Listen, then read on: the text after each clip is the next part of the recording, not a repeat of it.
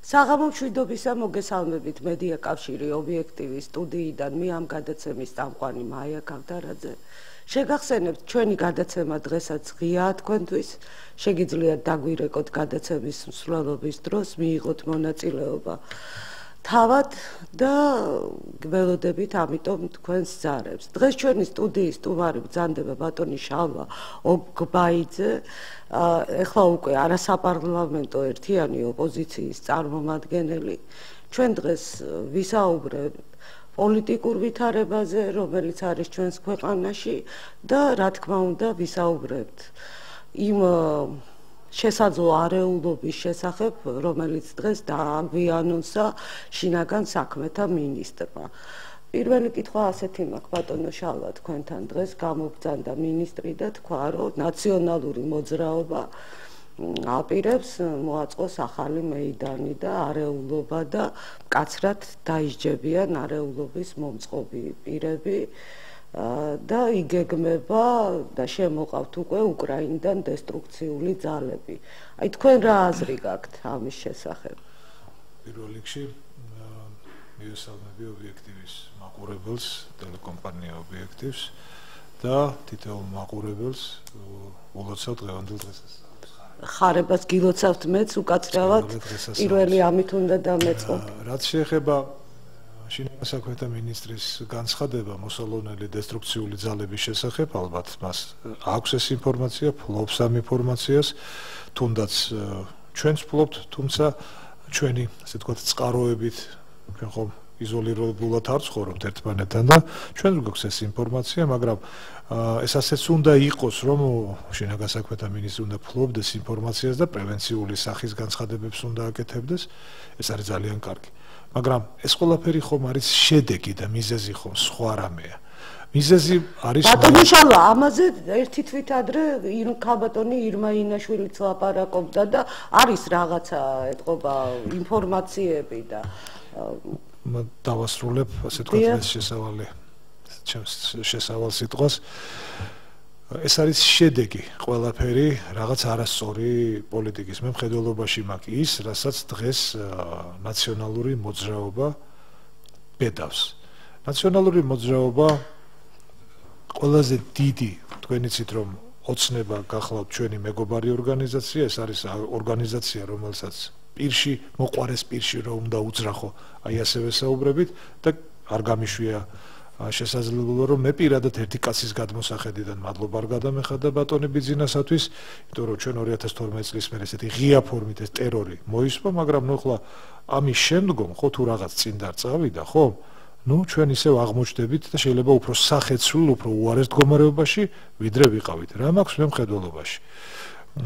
პირველივე ეტაპში 2012 წლის 1 ოქტომბერს უნდა შეფასება მიცემოდა იმ მოვლენებს, სადაც ჩვენ ვიმყოფებოდით. ანუ რეჟიმი უნდა გასამართლებულიყო. ანუ უნდა მისცემოდა ამ ხელისუფლებას, არ ვიცი, დამნაშა როგორ კვალიფიკაციას მისცემდნენ იურისტები ეს. სხვა თემა, ჩემი ემოციური განცხადება გვერდზე გადავდოთ, ჩემთვის ის იყო რეჟიმი და დღესაც არის რეჟიმი, რეჟიმი, რომელმაც დახოცა ხალხი, რომელმაც ქონება წაართვა ხალხს, რომელმაც აიძულა რომ ხალხი წასულიყო საზღვარგარეთ, რეჟიმი, რომლის დროსაც ყოველ 52 საათში ერთი პატიმარი კვდებოდა პენიტენციალურ სისტემაში, ციხეებში, რეჟიმი, რომლის დროსაც ყოველი ზრდასრული ყოველი მესამე, მეოთხე მამაკაცი და არა მარტო მამაკაცი გახდათ ნასამართლები და გამოვლილი პენიტენციალური სისტემისა რეჟიმი რომლის დროსაც ასე ვთქვათ მოხდა მონოპოლიზება უამრავი ბიზნესის ბიზნეს საქმიანობის ხელისუფლების და შემდეგ. აი ეს შეფასება არ გაკეთდა და ეხლა იოლი ესეთი გვერდზე მდგომი კაცის პოზიდან მე ვთქვა რომ აი ოცნება ოცნება კი არ იმკის ისევ ჩვენ ვიმკით, ისევ მე ვიმკი პირადად ერთი კაცის გადმოსახედიდან, იმიტომ რომ გარდა ღია ფორმით თვალთვალის გარდა ჩემთვის არაფერი არ შეცვლა, იმიტომ რომ ჩემი ოჯახის წევრი, ჩემი უფროსი შვილი თავის მეუღლით შვილიშვილებით კვლავ პოლიტიკური დევნილია საზღვარგარეთ მისთვის. ბოდიში არავის არ მოუხდია, არავის დაკითხვაზე არ დაუბარებია, რატომ მოხდნენ ისინი 26 მაის ციხეში არც უმცროსი ვაჟი, არც თქვენი მონამორჩილი, არც ჩემი მეუღლე.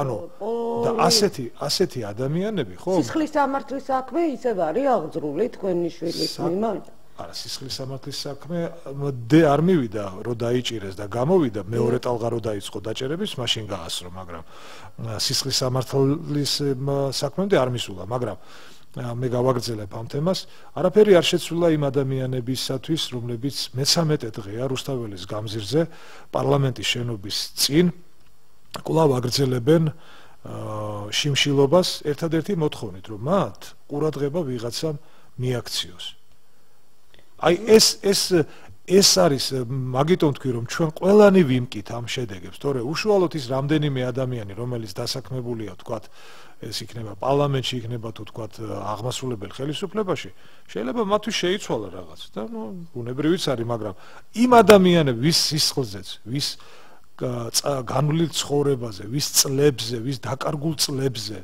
დევნაზე ტერორზე ჯოჯოხეთურ ცხოვრებაზეც ვინც მოვიდა ხო რომლებიც მოვიდნენ. აი იმ ადამიანებისთვის ჩანს რომ ცხოვრება ნუ შეიცვალა. ბატონო შალვა მე მინდა რადგან ესე იგი არ გასამართლა რეჟიმი იქნება შეცდომა თავიდანვე იქნა დაშვებული როდესაც პირველი ოქტომბრის არჩევნები ჩვენ მივიღეთ აი საზოგადოებამ თუნდაც. 40% სადაც ნაციონალური მოძრაობის წარმომადგენლები შევიდნენ პარლამენტში და იქნებ ხალხს მაშინ უნდა არა იქნება ეს ზუსტად ასეა. აი ეს არის აი მას ვიმკი იმიტომ რომ პირველ ნაბიჯს აუცილებლად უნდა უნდა მოყოლოდა მეორე მესამე გადამწყვეტი ესეთი ძალიან მткиცე ნაბიჯები, რომლის შემსწრევი ჩვენ სამწუხაროდ ვერ გავხდით. ჩვენ მხოლოდ და მხოლოდ ჩვენ ვიზეინებთ გამარჯვება და არ გავაკეთებთ. ჩვენ ჩვენ გამოვიკვებეთ და ვიკვებებით დღემდე, ну ახლა ვისაც ვინც იკვებება და მას რგებს ეს დაპირებები მას შეუულია გააგრძელოს, მე ვერ გავაგრძელებ, რომ იცით რა, აი ხვალ არა და ზეგ, ზეგ აუცილებლად მაზეგ, მაზეგიდან დაიწყება, აი ჩვენ შევქნით კომისიას სამართლიანობის, არ ვიცი, დადგენის, აღდგენის, სასამართლოში ხარ დაშვებული ხარვეზების დამდგენ, მე არ ვიცი ეს და დაპირებები ჩვენ გვესმის 1 ოქტომბრიდან. მე არ მეგულება ადამიანი, რომლისთვისაც, აი რასაც ქვია სამართლიანობის აღდგენა, ეს არ არის ეფემერული სიტყვა. ეს არის ადამიანი, რომელსაც ატკინეს, რომელსაც წაართვეს, რომელსაც აგლიჯეს, რომელსაც ოჯახის წევრი მოუკლეს, რომელსაც შვილი მოუკლეს, რომელსაც პატიმარი მოუკლეს, რომელიც ოჯახის წევრი გადაასახლეს, ხო? იმ ადამიანის ის ადამიანი, ვინც ამ დღეში ჩააგდო, აი ეს ადამიანი თუ პასუხს აგებს. პასუხად ჩვენ ღებულობთ რას?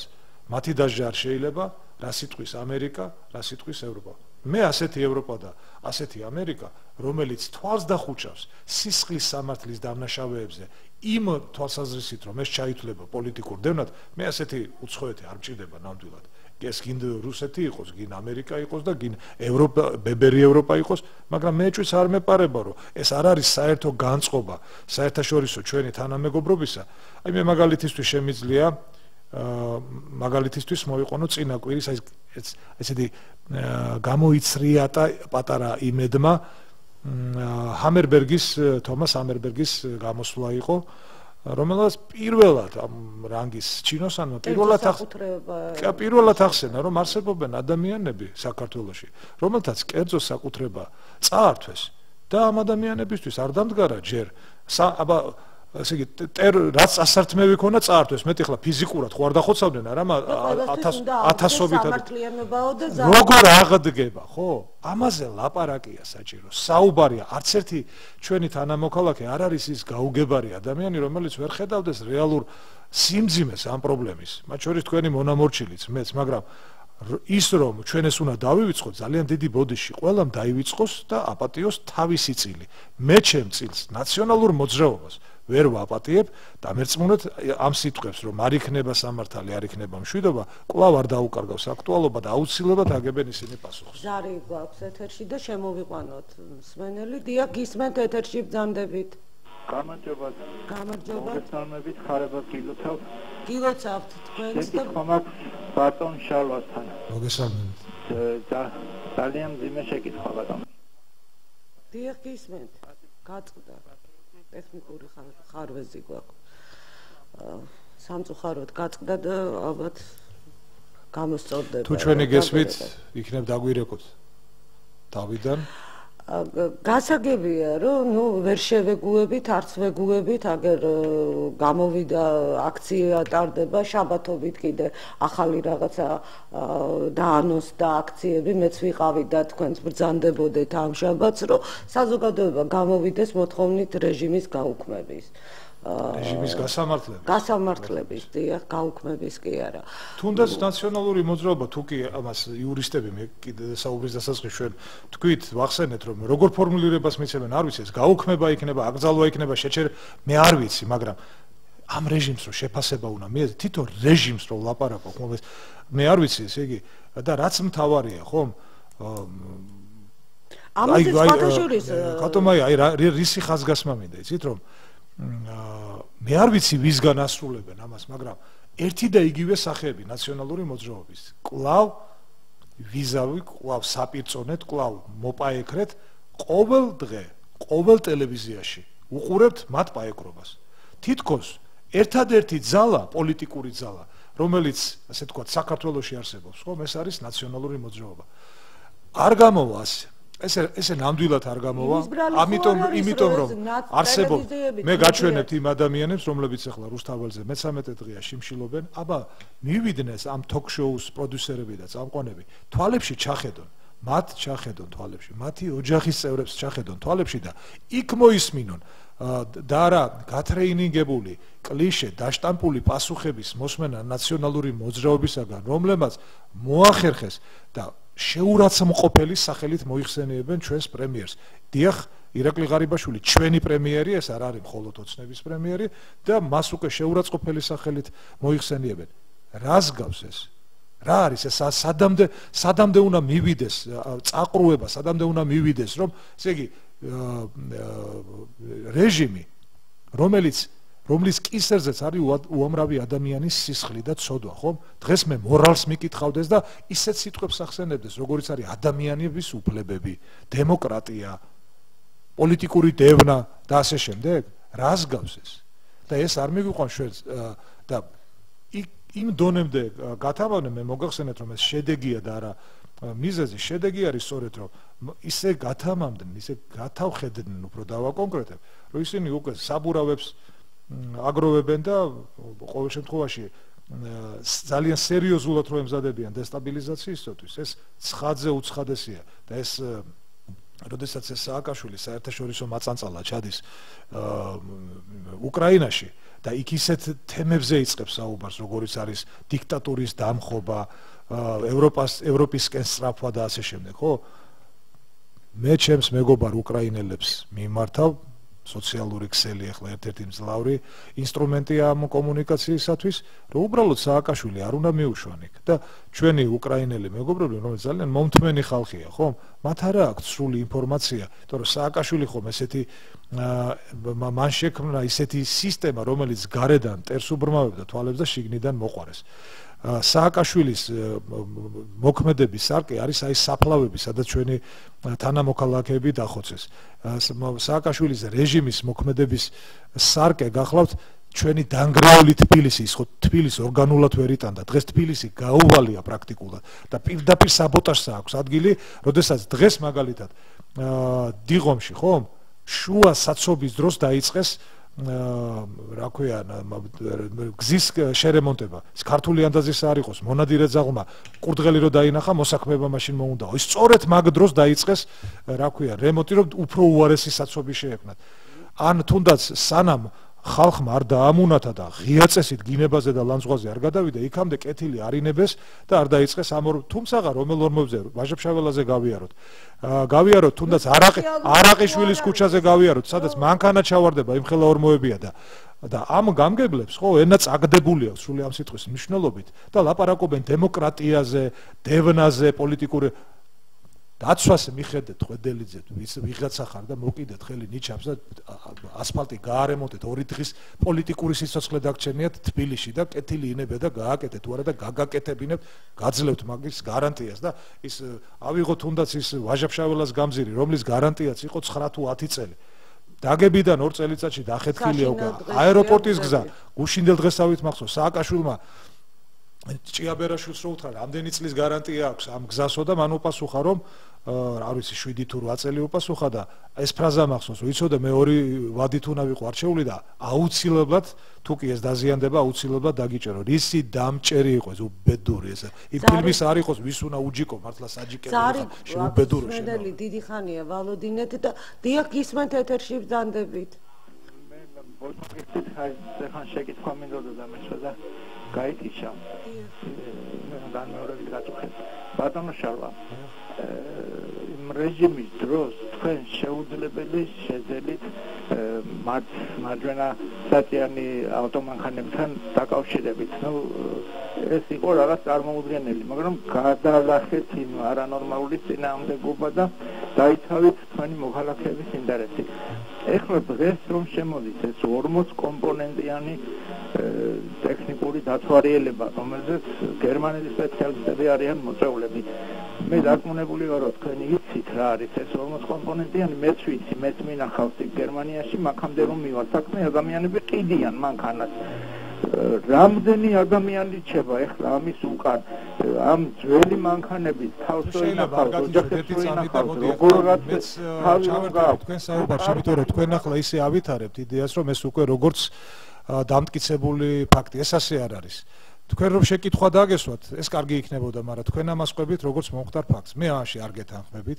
დიდი მადლობა შესავალში გამოთქმული ჩემს მიმართ გამოთქმული კომპლიმენტისათვის რომ მე დავიცავი იმ რეჟიმის დროს მარჯვენა საჭიანი მძღოლების ინტერესი და კიდევაც დავიცავ და აქვე დავძენო ადამიანებს რომელთაც ამ ცვლილების გამო რომელსაც ქვია ავტომობილების ტექნიკური დათვალიერების შემოღება როცა იქნება შემოღება მე ვერ გეტყვით ზუსტად.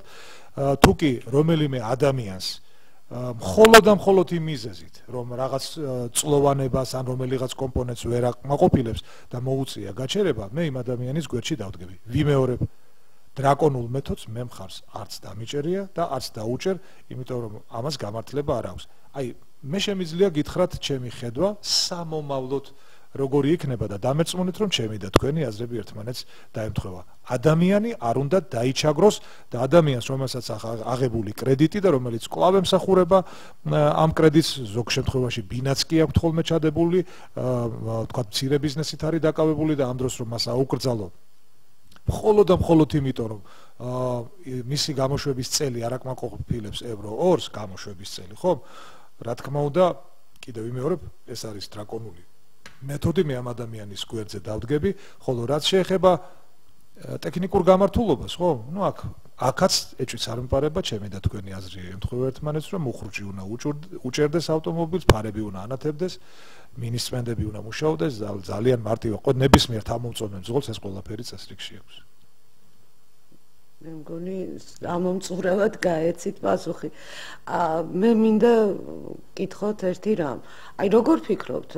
არა, ხალხი მოითხოვს საქართველოს მთელი მოსახლეობა თითქმის უმრავლესობა რა თქმა უნდა მოითხოვს რეჟიმი გასამართლდეს. მას რატო არის საშიშროება რომ მოაწყონ რაღაცა არეულობები?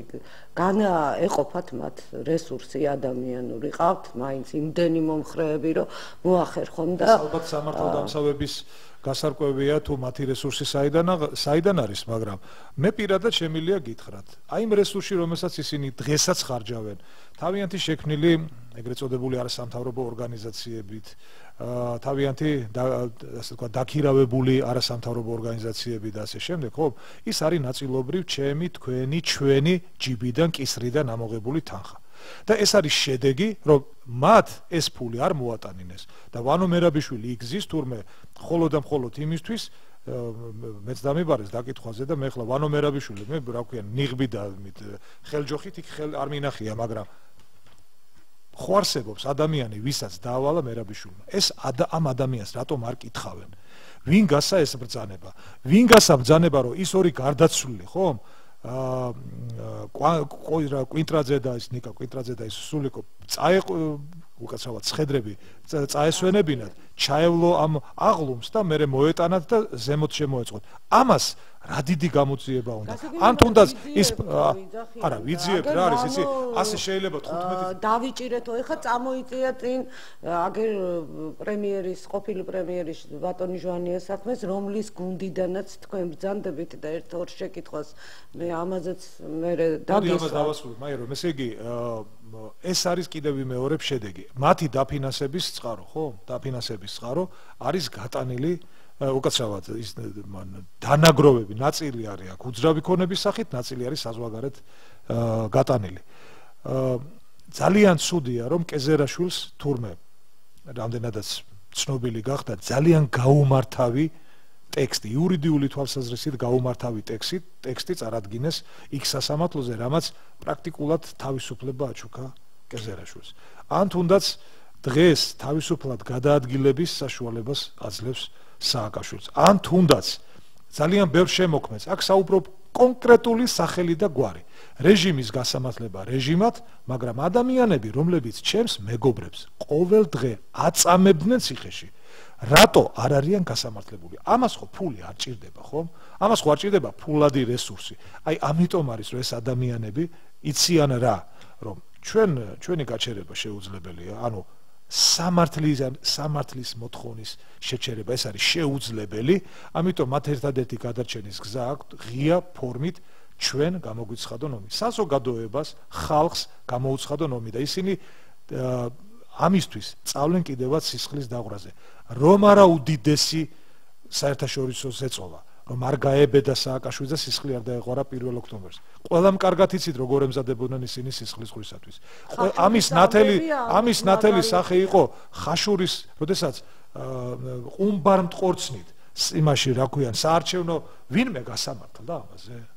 ვინმე დაიჭირა? გასაგებია, მაგრამ ნუ აი ბატონი გელაშვილის ცემის ფაქტიც ფაქტიურად გამოძიებულია და ჩვენ როგორც ვიცით, კოდუა გაქცეულია და აგერ თავშესაფარი მოითხოვა, როგორც ვიცით, უნგრეთის ხელისუფლებას მოსთხოვა თავშესაფარი. გახმაურდა ჟვანიას საქმის ჯერ ნახეთ ის საშინელი კადრები და პროკურატურამ გამოგვიცხადა, რომ სულ მალე და აი ხომ ხედავთ როგორი შეცდომა იყო, როდესაც როდესაც ესეთი გააჩინეს მოლოდინი რომ აი გაიხსნება ერთ თვეში, გაიხსნება ორ თვეში, გაიხსნება. და პრეზიდენტი ციხდა დაბარებული პროკურატურაში როგორც მოწმე ის უარს აცხადებდა და ეხა მე მგონი დათანხმდა Skype-ით უპასუხოს კითხვებს. თუ არ დათანხმდა და სასამართლოზე აპირებს გამოსვლას. ანუ რაღაცა დაიძრა თითქოს, იცით? აი ამ კუთხით და გვეუბნებიან რომ ესე უცებ არ არ ხდება სამართლიანი მე ვერ დავეთახო დაიცა აი მაგალითისთვის ხომ დღეს რატომაც სიმშილობენ? ჩვენი პოლიტიკა თუმცა მეც არ მესმის აი რატომ ვინმე დაინტერესდა ხელისუფლებიდან აი რა მოთხოვნა გაქვთ? აი რა არის იმისთანა რაც თქვენ ვერ გადაგიწვიდეთ? ანუ არ არის ხომ ყველაფერი წესრიგში? ერთი ადამიანი მაჩვენეთ ვისაც ქონება დაუბრუნეს ერთი ადამიანი მაჩვენეთ რომელსაც აწამებდნენ სააკაშვილის ციხეში და ის ვინც აწამებდა ის ადამიანი არის ეხლა ერთია რეჟიმი, მაგრამ მეორე ხო ამ შესრულებას ხო კონკრეტული ნუ ახალაიაც ფაქტიურად ძის ციხეში. აი ნავთლუხის საქმეზე ერთი წუთით, ერთი წუთით. მაშინ კონკრეტული მოდელი მე არ დამწამდეს სხვაზე საუბარი და სპეკულაცია. ადამიანი რომელიც მე შემომივარდა საოპერაციო მაგიდაზე და დამაპატიმრა. რატომ ერთხელ მაინც მე და დამაპატიმრეს და სხვათა შორის ამის დამადასტურებელი არავით არის დოკუმენტი, ხომ? მე პროკურატურაში ვერ მოვიძი. ანუ მე აღმიკვეთეს უკანონოდ თავის. ბატონო, თქვენ მიმართეთ პროკურატურას დაწერილი გაქვთ პროკურატურაში 2012 წლის 1 ოქტომბრის შემდეგ, როდესაც დაკომპლექტდა თავრობა 1 ნოემბერს, მე მთელი ჩემი თავგადასავლი, რომელიც სხვა კლასიკურ პოლიტიკურ დევნას. ეს იქნებოდა მოსმენა, მიყურადება, თქვა ქონების გაყიდვა, სროლა, ჯანმრთელობა შეგიბახეთ, მე ვიცით რომ სამის წამება ეს ყველაფერი დევს, მაგრამ როგორც თქვენ დაუძახიხართ ჩემ საქმეზე პროკურატურაში, ასევე მე ასევე არის შემოდებული, ასევეა შემოდებული ბევრი ჩემი მეგობრის თანამებრძოლის საქმე, რომელსაც არავითარი წინსულ, არავითარი აი გაფაჩუნება არ აქვს ამ საქმეს. აი ეს არის. ამიტომ თქვენ რო ამბობთ რომ რაღაც, აი ეს რაღაც არ არის საკმარისი. ამას ჭირდება აი ასეთი ადამიანი უნდა დაიბარო და უნდა ცნო დაზარალებულად. პირველ რიგში დაზარალდა? დაზარალდა. რატომ არ ცნო? რის გამო ამის ბატონო შალვა ვინმე შეწინება აი როგორ ფიქრობთ ეს უნდა აწყობდეს ამ ხელისუფლებას აი ესეთი აღშფოთებული ამდენი ადამიანი რომელიც ამართლიანობის ყო არ აწყობს. მან რომ ხელი ჩავთვალო რომ ამ ხელისუფლებას აწყობს მაგრამ მეორე უბედურებაა რომ არ აწყობს მაგრამ მაინც ნაციონალური მოძრაობა ახერხებს იმას რომ ისეთი პრესინგში ყავდეს ეს ხელისუფლება.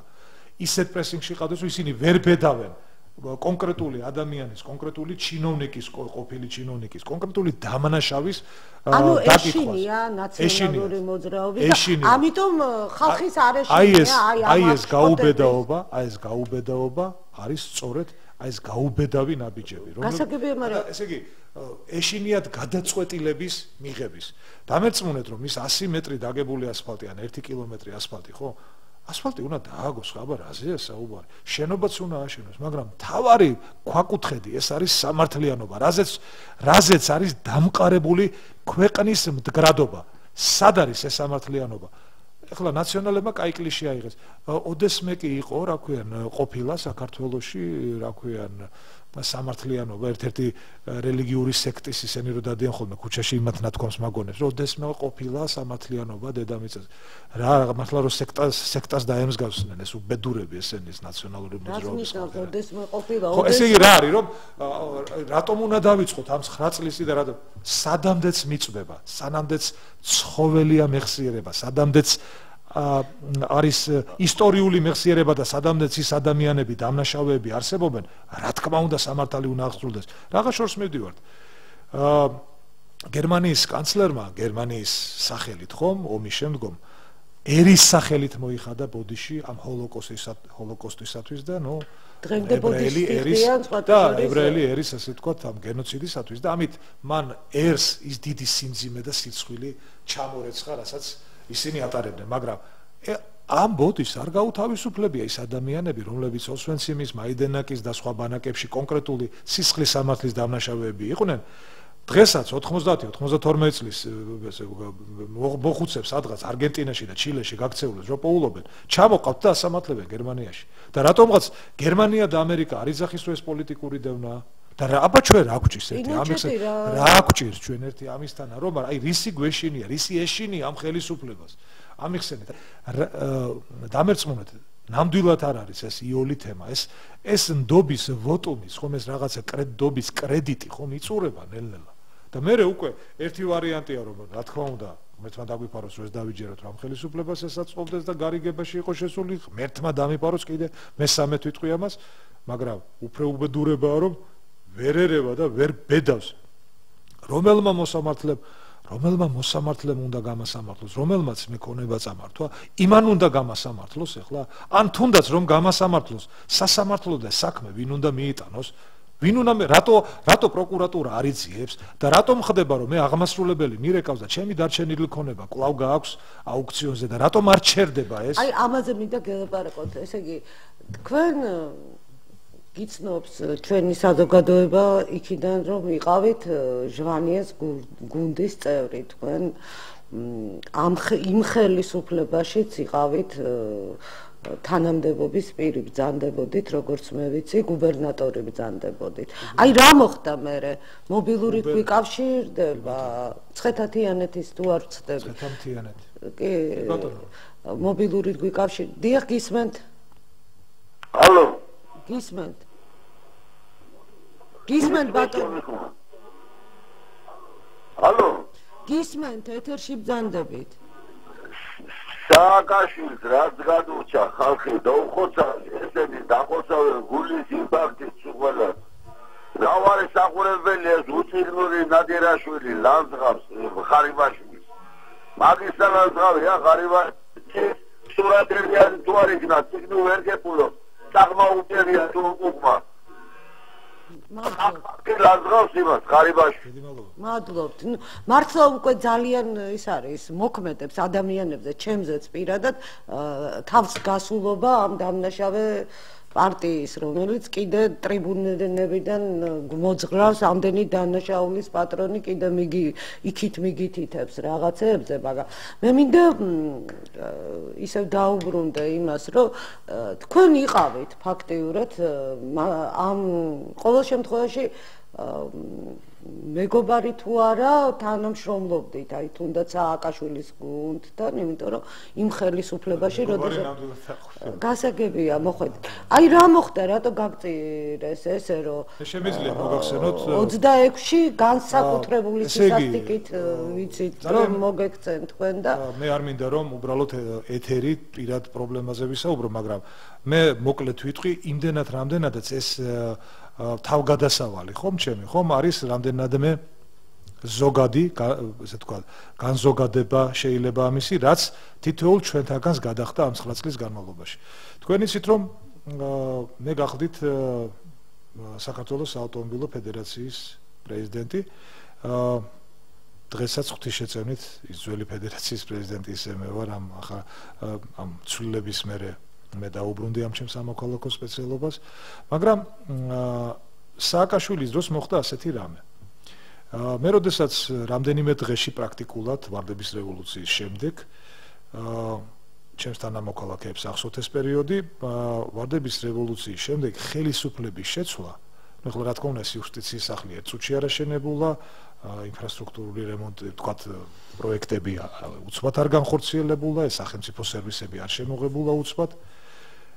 რითაც იგრძნო ხელისუფლების შეცვლა, ეს იყო ძალოვანი სტრუქტურების მუშაობის სტილის და დამოკიდებულების შეცვლა. მე მხედველობაში მაქვს საგზაო პოლიცია, როდესაც სამ დღეში მე შევძელი რომ გამეუქმებინა რეიდები გზაზე, ეგრეთ წოდებული ტეკები, ანუ ეს რაღაც ესეთი სულელური წარმონაქმნები, როდესაც შენობები იდგა, სადაც შლაგბაუმები იყო გამული და აჩერებდნენ ჩვენს თანამოქალაქეებს, როდესაც გავა ჩემი ინიციატივით მივწერე წერილი და შევაჩერე ყოვლად უმსგავსი ფორმით ტეკდათვალიერება ეს მე მივწერე მაშინ სააკაშვილს რომ ასეთი ფორმით ნამდვილად არ უნდა ეარსება მაშინ მანქანის ტეკდათვალიერება კი არა ფულის კუპიურის დათვალიერება იყო. სამ დღეში გავაუქმე მინდობილობა რომელიც უნდა დამოწმებულიყო საგზაო პოლიციაში. სამ დღეში შევაჩერე ის მავნე პრაქტიკა რასაც საგზაო პოლიციაში მანქანების ბჭყალებში გამბაჟება ერქვა და ეს აისახა კიდევაც ერთ კვირაში საბიუჯეტო შენატანებზე, როდესაც ეს მრუდი წავიდა ზემოთ. მე ძალიან ბევრი სამ აი მით უმეტეს რატო რატო ამის შემდეგ ამის და ამ ხელისუფლების ამის შემდეგ მოხდა ის რომ მე პროკურატურამ თხოვა ამომეღო ირაკლი ოქრუაშვილის დროს რომ 14 თუ 15000 მანქანის სია გადმომცეს და ეს მანქანები მე უნდა ამომეღო ამოღება ქვია ანუ ჩამომესვა ეს ხალხი საჭიდან იმის გამო რომ მათ ადრე მანქანა თქვათ შეძენის დროს ქონა დარღვევა გაკეთებული. ანუ ხონდათ იმ ადამიანებს დარღვევა რა თქმა უნდა არა. რა თქმა უნდა ზოგჯერ ზოგიერთი მანქანის რეკეტი მოგეხდინათ ამ მანქანების და როგორ ესე იგი ზოგიერთ შემთხვევაში მეორე და მესამე შემძენი იყო იმ ავტომობილის იმ პერიოდში და რა თქმა უნდა მე ამას არ გავაკეთებდი არც გავაკეთე არც მომავალში გავაკეთებ იმიტომ რომ მიმაჩნია რომ სახელმწიფო ჩინოვნიკს საჭირო დროს საჭირო არასთქმის საშუალება უნდა შეეძლოს თუნდაც ეს პრაგმატულად მის საწინააღმდეგოდ მოქმედდეს მე ვამაყობ რომ მაშინ საჭირო დროს საჭირო არა ვთქვი ეს იყო პირველი შემთხვევა როდესაც ჩვენ შორის შავმაკადამ გაირბინა და აღმოჩნდა რომ თურმე მე პიარს უფუჭებ ძლევა მოსილ ნაციონალურ მოძრაობას იმ ნაციონალურ ხელისუფლებას და ამას დაერთო შემდეგი ინციდენტი ინციდენტი უგულავასთვის თორე ჩემთვის ინციდენტი ნამდვილად არ არის ასი წელი, როდესაც ჩვენი ფეხბურთელი, საქართველოს ნაკრების ფეხბურთელი რატი ალექსიძე მანქანა მოტაცებული მანქანა სადგომიდან და წაყვანილი საჯარიმო მოედანზე აი მანქანით გადაადგილდებოდა გიგი უგულავა. ვიმეორებ გიგი უგულავა, როდესაც რატი ალექსიძემ თვითონ ჩამოსვა გიგი უგულავას მძღოლი და მისი თანხლები პირი მშრალი მშრალხიდან ისინი გაიქცნენ ელემენტარულად და ამის შემდეგ აა გია ბარამიძე მე მითხრა რომ თურმე მე ასე ვთქვათ ჩემი ასე ვთქვათ, გუნდურობის პრინციპს ვარღვევ და კარგი იქნებოდა მე თუ რაღაც გარკვეულ ტაიმს, ტაიმ აუტს ავიღებდი. მე აქედან სარგებლობ შემთხვევით და გია ბარამიძეს მადლობას უხდი რომ ტაიმ აუტი ამაღებინეთ და აღარ გავაგზავნე ნაციონალურ მოძრაობასთან მუშაობა გიას კი არა. ღმერთს ირა მადლობას რომ მაგათთან მეტი შეხების წერტილი ცხოვრებაში არ ქონია და იქ თანამდებობაზე ყოფნის პერიოდში მე შემილია ვიამაყო იმ პერიოდით, როდესაც პირველმა მევთქვი რომ დღეიდან საგზაო პოლიცია ქტამს აღარ იღებს. ძალიან კარგი, მაგრამ ნუ თქვენ უკვე გახდით მათი ასე მოწინააღმდეგე. მაგრამ რაღაცა განსაკუთრებით გარდაცვალების შემდეგ მე საერთოდ პოლიტიკას ჩამოცილებული ვიყავ, მე მიმაჩნია რომ მაგ არაჩვეულებრივი სამოქალაქო პროფესია, მიყვარს ჩემი პროფესია და ამის შემდეგ მე დამიბარა ნამგალაურმა, დამახვედრა აა რამდენიმე ჩინოვნიკი პარლამენტარი და შემომთავაზეს ბჭყალებში რომ გადამდგარიყავი თანამდებობიდან. აი გამაცნეს ახალგაზრდა ბიჭი და ეს რომ რომელიც უნდა ერჩიათ საავტომობილო ფედერაციის პრეზიდენტად. ეს ახალგაზრდა ბიჭი აღმოჩნდა თემურ ალასანიას შვილი. ვიმეორებ თემურ ალასანიას შვილი ნიკუშა ალასანია და პრეზიდენტის ბიძის. პრეზიდენტის ბიძის. აი ესე ბრუტალურად დღისით, მზისით ministris კაბინეტში მე მითხეს თუ არ გადავდგებოდი, ჩემს ოჯახს შეექმნებოდა პრობლემები. პრინციპში ეს პრობლემები მეორე დღიდან დაიწყო, იმიტომ რომ მე უარი თქვი. და სხვათა შორის იმ იმ ბიჭმაც უხერხულად იგრძნო თავი, იმიტომ რომ მიხვდა რომ საჭირო ადგილზე არ მოხვდა და საჭირო დროს ჩემთან საუბრის შემდეგ და ამის შემდეგ მოხდა ის რაც მოხდა. საკადასახადო პოლიცია ჩემს საწარმოში ამას აუქციონზე გაყიდო, ამას მიყვა მიყვა ჩემი ბინის გაყიდა, ხოლო ჩემი ძლის ბინა ვითომ გაყიდეს და ის პოლიციელს აჩუქეს და დღესაც პოლიციელი ცხოვრობს. ანუ თქვენ ფაქტიურად უსაყაროდ და არა, უსაყაროდ არა. ღვთისმშეწევნით მაქვს სადაც ცხოვრობ, მაგრამ მე ვაპირებდი გაფართოებას. ნუ ორი ბიჭი ყავთ და და ვაპირებდი გაფართოებას და სამწუხაროდ ეს, მაგრამ რა არის იცით ეს ჩემთვის კი არა მე მიმაჩნია იმ ადამიანების სულ სასჯელი უფრო არის ვინც ეს გააკეთა. თორემ მე თქვენ სინაშე დგევა ზივარ და ვარ ახსავსე ხვალინდელი იმედით. მე გუწფელად ვარ დარწმუნებული რომ იმაზე უკეთესი ის ის საზოგადოება რომ მთელი ჩემი საქმიანობა და შემოსავალი უკავშირდება საავტომობილო სფეროს იმაზე უკეთეს საწარმოს გავაკეთებ იმაზე უკეთეს იმათი კითხონ, ვისაც ახლა ემუქრება განსაჯელის. მე ხელი მოგიმართო. ასეთას გამზე დაჟე. აი სწორედ ეს თქვენი დაპირისპირება ხო არ იყო მიზეზი იმის, რომ ნუ 26-ში საშინელება ხდებოდა მართლა ვინც იქ იყო, ნუ ყველა მიწვნია ის რაღაც სისასტიკით, რაღაც არა ადამიანური სისასტიკე, მაგრამ აი თქვენს მიმართ რაღაცა განსაკუთრებული, მე ვიცი რომ სამი თვე თქვენ ფაქტიურად ვერ დგებოდით ლოგინიდან და გადარჩით შემთხვევით, გაგიკეთდათ ოპერაცია და აი ეს მინდა მოყვეთ თქვენი შვილები იყვნენ ძალიან დაზიანებული და თქვენი მეუღლეც კი აი ესე იგი გიცნეს და იმიტომ იყო რამე დირექტივა ესეთი რომ განსაკუთრებულად აი შავა ოგბაიძეს და ეს დირექტივა იყო 2009 წლის 6 მაისს პოლიციის სამართლოსთან. აა მე ვიცი ვინც მესროლა იმიტომ რომ მის გარშემო მყოფ ადამიანებს ანუ თქვენ სახელი და გვარი იცით? ვიცი დიახ და პროკურატურას ეს მოახსენეთ თუ თუ დამიბარებენ მოახსენებ მაგრამ არ მეძახიან და ნუ ახლა თქვას აქ აზრი არ აქვს. იმ ადამიანებისგან მე ვიღე ის ინფორმაცია რომლებიც შიგნით იყვნენ პოლიციის სამართლოში თუ ვინ გასცა ბრძანება და ვინ შეასრულა პირადად ჩემთვის დამიზნებით სროლა. სხვა შორის ეს ადამიანი გულდაწყვეტილი იყო რომ თვალში უმიზნებდიო და ცოტა ავაცილეო. პრემიაც მიიღო ამ ადამიანმა ჩემი დაზიანებისათვის. ხოლო რაც შეეხება 26 მაისს აქ უკვე ღია წესით ჩემ მანქანა დამყვებოდა ვითვალთვალებდა ირაკლი კოდუამ პირდაპირ გახსნილი ტექსტით მითხრა რომ ჩემი ტელეფონი ისმინება. აჩვენა მე პირველად გავიგე არსებობა სოდის ეგრეთ წოდებული სოდის სიის შავი სიის ეს არის შავსიაში შავსიაში დიახ. და მოგვიანებით აი შარშან როდესაც ამალავები აღმოაჩინეს მე დამიკა არ გახდით თბილისში. მე დამიკავშირდნენ ჟურნალისტები და მითხრეს რომ ჩემი გვარი აღმოუჩენიათ თურმე აი იარაღთან და იმ კასეტებთან და იმ ასე ვთქვათ იმ სამალავებში დასაჭერ ადამიანთა ნუსხა და თურმე იქაც ფიგურირებდა საპატიო პირველ ათეულში დასაჭერეთ დასაჭერებში ჩემი გვარი.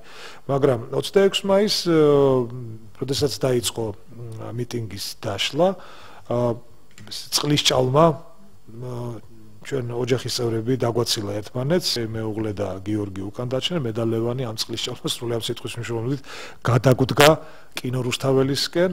და იქ ძალიან დიდი დოზით, ну, მე არ ვიცი, ორმაგი, სამაგი ამ მომწამლავი აირით ვიყავით მოწამ პრაქტიკულად სუნთქვა აღარ შეგვეძლო და აი ამ დროს დაგვესხნენ თავს და მე ვთხოვერთ და ეს ფოტოები დევს კიდევაც Facebook-ში, როდესაც მე და ლევანს გვირთხავენ და მე ვთხოვე ერთ-ერთს რომ ჩემი თანდასწრებით არ ეცემა ჩემი შვილისთვის ხო და სხვაჩორის იმ მომენტში ამ კაც ამ სპეცნაზელმა თუ გაურკვეველი სტრუქტურის წარმომადგენელმა ნუ პატივი მცა და შეწყვიტა. შეწყვიტა მაგრამ როდესაც უკვე ჩაგვაბარეს მეორე ლევანი ცალკე და მე ცალკე ხომ აი იქ უკვე დაიყვირეს რომ ოგბაიძეო და ნუ იქ მე არ მახსოვს 7 8 რამდენიმე ნუ ხელები მე უკან მქონა შეკრული და ნუ რამდენიმე დარტყმას გაუძელი მაგრამ მე გონება დავკარგე და გონებაზე მოვედი საოპერაციო მაგიდაზე, სადაც ვიღაცა მედგა ჩინონიკი, რომელიც მაგინებდა და მითხრა რომ ჩემი შვილების სისხლს დალევდა. თუ რომ და დამაპატიმრა ადგილზე ლევანი აღმოაჩინეთ სამართლოში, გიორგი აღმოაჩინეთ ჯერ სამართლოდან გადაუყვანიათ მარნეულის კაპეზეში, წინასარდაკავების იზოლატორში, თქვენ იცით რომ თბილი გადავსებული იყო და რაიონებში გადანაწილდა მაშინ, თან გასაიდუმლოებული იყო. მამა გიორგი საკაძე დამეხმარა მისი ადგილ სამყოფელის გაგებაში და სხვათა მის კამერაში იყო არჩილ ბურჯანაძე, გიან ნეფარიძე, გედი გოგიტიძე, ოთხნი იყვნენ და მათ ცა არ უნახავთ ერთი თვის განმავლობაში და დილა იწებოდა ცემით და ესეთი შეძახილით შეაგინე მამა შენ შეაგინე ოპოზიციას. და ყოველ ნახევარ საათში, ნუ საათში ერთხელ იხსნებოდა ეგრეთ წოდებული კარმოშკა და ურთავდნენ მელოდიას მიშა მაგარია. ჩვენ ვაკედანო დაზიანებული ფსიქიკით გაგიშვებთო, ნუ ეს ნუ აღარაფერს ვამბობ იმ თაიგულზე ბჭყალებში უსიამოვნებების, რასაც საჭმლის მიუწოდებლობა, ჰიგიენური პირობები, ნუ ეს ამაზე ეს ეს არაფერი ამდაგვარი. ეს იყო რაღაცა და სამწუხაროდ ამაზე ჯერჯერობით არავინ არ დაკითხულა. აი მე რაც ჩამოთვალეს გვარები, არავინ არ დაკითხულა ამის თაობაზე თუ ვინ ხო ერთია კარგი თქვათ ну да გადააჭარბეს. ну кай უფლება მოსილები. უკვე პატიმარია, რატოცემ? აი ეს მაინტერესებს. თუ ცემ, რატო არ უნდა აგოს პასუხი ეს ვინმე უნდა ამიხსნას გარკვევი და მკაფიო. თუ ამას ვერავინ ამიხსნის, მე დარწმუნებით გეუბნებით. მე და ჩემი მეგობრები, ჩვენი თანამებრძოლები, ნამდვილად კი არ გავჩერდებით, ვერ გავჩერდებით. დამერწმუნეთ, იმიტომ რომ ეხლა ადამიანები, ხო ესენი არიან შეკუმშული ზამბარები, დაცაბული ადამიანები, რომლებიც ელოდებიან თუ როდის იზეიმებს სამართალი. ეს სამართალმა თუ არ იზეიმა ხო ამ ადამიანებს სხვა სხვა პრობლემებთან გვექნება შემდგომ საზოგადოებრივ პრობლემასთან. ეს უარყოფითი ენერგია როგორ გადმოხეთქავს და როგორ იჩენს თავს ღმერთმა უწყის ეს. ამიტომ სუბთა პრაგმატული მოსაზრებით ყველაზე თავარი ამ ხელისუფლებისათვის ამ ადამიანებისათვის სამართლიანობის აღდგენა მემაჩნია მეც ასე მგონია რომ თუ არ აღდგება სამართლიანობა უბრალოდ ეს წარმოუდგენელი ამბავია და ისევ მინდა 26 მაის ახლოვდება ეხა ერთი თვეღა დარჩა და დაუბრუნდა იმიტომ რომ ეს გარდა იმისა, რომ რაღაცა უსასტიკესად დაგეგმილი სპეცოპერაცია იყო, ხა ვინც აქმის კურსი არ არის, მინდა უთხრა, შემდგომაც საზვისტურად იმ საპატიმროებში ხო ასე ექცეოდნენ, რასაც თქვენ ყვებით ეს მიშა მაგარიას ურთავდნენ, არაჭმებდნენ, აწამებდნენ, გრძელდებოდა ეს წამებები და ოჯახის წევრებსაც იცით, მე მახსოვს დედები, რომლებიც ეძებდნენ შვილებს და ვერ პოულობდნენ და ეს გრძელდებოდა დღეების განმავლობაში და იყო რაღაცა საშინელი უბედურება ტრიალებდა შეიძლება ითქვას თელი საქართველოს მასშტაბით და ესეც ხო სპეციალურად ხდებოდა. რატო ეხა დაიჭირე და უშუალოდ დააშავა მაგრამ დედას გააგებინე სად არის შვილი და ცოცხალი როა თუნდაც ის გააგებინე. ესეც ხო სპეციალურად ხდებოდა. გარდა იმ ორი ადამიანი მოკლეს და შეაგდეს და ასე შემდეგ. ეს საერთოდ 9 წელიწადი ყველაფერი ხდებოდა შეგნებულად. ადამიანის სააკაშვილს აი 2008 წლის გაზაფხულიდან აი ჩვენს თვალწინ დაიწყო სრული დეგრადაცია ხელისუფლების. აი სრული დეგრადაცია, აი ღია წესით ადამიანების ცემა, მოტაცება, თვალთვალი და ამ ყველაფერს ამართლებდნენ რა დროს ეგ არის, რა ქვია? ო, რუსეთი 40 კილომეტრია. იცი რა არის დიდი ვერაფერი ბედენა რუსეთის 40 კილომეტრში დგომით, ხომ? ადამიანების დაწიოკება, ადამიანების წამება ადამიანების შიშის და ტერორის ქვეშ ცხოვრება, საზოგადოების გაყოფა ჩვენებად და დანარჩენებად, ადამიან მეორე სორტის ადამიანები მან გააჩინა მე ფეულებრივი ტიპიური რეჟიმები როგორი იყო ფაშიზმი, იყო ტიპიური ფაშიზმი. ეს არის ტიპიური ფაშიზმი კიდევ კიდევ მეორე. მე მიმაჩნია რომ ამ ხელისუფლების ერთ-ერთი მთავარი გამოწვევა უნდა იყოს ამ რეჟიმის შეფასება. მათ მოუწევთ, აუცილებლად მოუწევთ. სადაც არ უნდა წახვიდე, ხომ?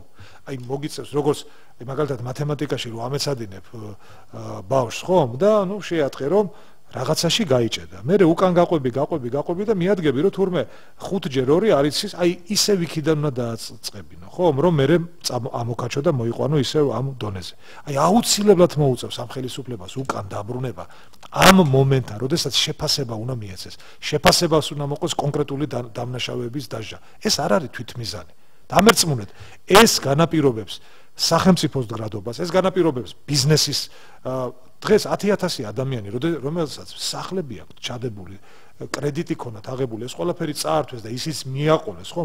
ეს რომელ ინვესტიციის საინვესტიციო მიმზიდველობაზეა საუბარი? რომელი ინვესტორი ჩადებს, რომელსაც მას იცის რომ რო წაართვეს ერთი უბედურება, მაგრამ ის დაბრუნებაზე რო არავინ არ ფიქრობს. ამიტომ მიმაჩნია რომ ეს არის ერთ-ერთი მთავარი გამოწვევა და ხელისუფლებას მოუწევს ამ მოვლენებისათვის შეფასების გაკეთება. აი როგორ ფიქრობთ მე რა 4 წუთი დაგჭა სულ და არ შეიძლება არ კითხოთ. იმიტომ რომ თქვენ მე ვიცი მეგობარი ბძანდებოდით ბატონი ჟოანიასი აი იქნებ ამ საქმის გამოძიების შემდგომ. აი როგორ ფიქრობთ? კვალი მიდის პრეზიდენტამდე კითხვებიც არის პრეზიდენტის მიმართ. როგორც ამბობენ ხა როგორ ფიქრობთ იქნებ აი ეს საქმე თუ გაიხსნება მე ყველაფერი უკვე აი მოგვარებადია როდესაც თავარ პირს ვინც ამ 9 წლის განმავლობაში რაღაცა მიეშება და აი გაქვთ თუ არა იმედი რომ სააკაშვილი შეიძლება ამ ხელი აღარ იყოს? ამ ხელისუფლებამ სააკ მე მაქვს ესეთი საფუძვლიანი ეჭვი რომ ვერ გაბედავს ეს ხელისუფლება ბოლომდე მიიყვანოს ეს საქმე. ანუ თქვენ ფიქრობთ რომ გაუბედავია და ნუ აი ამის თქმის საფუძველს რა მაძლევს? მაძლევს ტერმინი კოჰაბიტაცია 2012 წლის 1 ნოემბრამდე. რამდენ ადამიანს ქონდა საქართველოსში გაგონილი? გასაგებია, ეს თქვენი და ჩემი ბრალიც ხო არ არის, რომ ჩვენ გაგვიხარდა და ვიზე იმეთის და 40%-ს შევეგუეთ ფაქტიურად, რომ ნაციონალური მოძრაობა ეს თავისთავად ჩვენ თვითონ შევეგუეთ კოჰაბი. სიხარული ერთი წელი ხوارზე კაც შვილი შეეძინა და სამი დღე кейფობს, მაგრამ მე საქმეს მიხედავს. მაგრამ 40%-ს შევეგუეთ და რას იძავს ეს ხელისუფლება, როდესაც იმ ტრიბუნებზე ისევ ის 40% ენა მიბრუნდა, რომ არა უნდა თქვა რომ მე არ შევგუებ, ნამდვილად თავი თავიდანვე თავი თავიდანვე დემოკრატიულმა მოძრაობამ ჩვენმა პარტიამ განაცხადა რომ რა თქმა უნდა რა თქმა უნდა ჩვენ მივესალმებით ეს არის ბედნიერება რომ ღია ფორმით ტერორი შეწყდა მაგრამ ის რეალობა რა რაც 1 ოქტომბრის შემდეგ 2012 წლის მერე 1 ოქტომბრის შემდეგ დამხარდა საქართველოში არასახავდა ძალთა იმ თანაფარდობას რაც რეალობაში ამისთვის ამისთვის საჭირო არ უნდა ჩაგვეთო არა ლეგიტიმური ამისთვის საჭირო იყო. რიგარეში არჩევნები რიგარეში ადგილობრივი არჩევნები მაინც. რიგარეში თავისი მე არ მახსოვს თქვენი პარტიიდან და საერთოდ არ არის კორპუსის თავმჯდომარეები კოორდინატორები საიდან იკვებებიან? ეს თანხა ერთი ამიხსენით რა. ბატონო შალვა ესეთი მოთხოვნები არ იყოს მამალა? ასეთი ადამიანები. სინათლის ქალა თბილისის ბიუჯეტიდან მე მიმართავ ჩემს თანამოქალაქეებს. ვირფასო თბილისელებო ჩემო ძმებო. ერთი რანაირად უნდა იყოს ჩვენი ჯიბი და რატო უნდა ვინახო ამდენი მუქთამჭამელი და ამდენი დამნაშავე ნაციონალური მოძრაობის? რა ჯანდაბათ უნდა თბილისის განათებას ყობა ხაბაზის 3000 ლარი იმ თბილისის განათებას ჭირდება ერთი რუბილნიკი რა ქვია ღამე ანთო და დღისი ჩამოწიო და თუნათურა გადაიწובה რა ქვია შეაკეთო ხომ? ეხლა უტრირებას უკეთე მაგრამ რა ჯანდაბა თუნა ამდენი არაფრის მომცემი არაფრის ჩვენთვის თორე მათთვის ძალიან კარგიც მომცემი თვეში 2500 3000 და 1000 და ერთი მაგდენი პრემიები დღესაც ყველა ვინც კი ministri იყო ministris დღესაც თბილისის ბიუჯეტიდან იკვებებიან.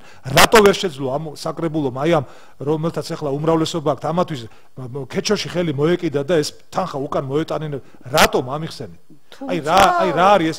კოჰაბიტა თბილისის მერი გადააყენეს და ეს არის აღზრული მე მიმაჩნია რომ თბილისის მერი არ არის გადაყენებული თბილისის მერი კლავ ასე თქვათ მოქმედებაშია და კლავ თბილისის ყოფის ყოფილი არ არის ის კლავ მართავს ფაქტიურად თბილის და მის ბიუჯეტს და მის ფინანსებს და სამწუხაროა ეს მაგრამ დამერწმუნეთ ადგილობრივი არჩევნები არის კარსმუნდგარი დამერწმუნეთ ჩვენ ვართ ის ძალა რომელიც შეცვლის აი ამ რეალობას უკეთესობისაკენ ჩვენი თითოეული თანამოქალაქის. მინდა დიდი მადლობა მოგახსენოთ მობძანებისათვის დიდი მადლობა ჩემს მენელს და მაყურებელს რომ იყავით ჩვენთან. მომავალ შეხვედრამდე